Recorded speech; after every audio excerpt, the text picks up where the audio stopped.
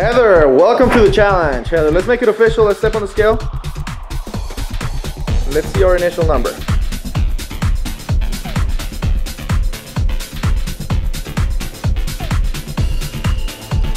Let's step off.